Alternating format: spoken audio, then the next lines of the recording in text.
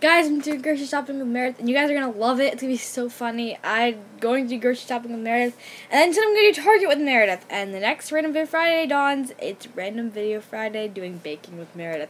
I'm excited. I hope you guys are too. This little tomboy is out. Chamata.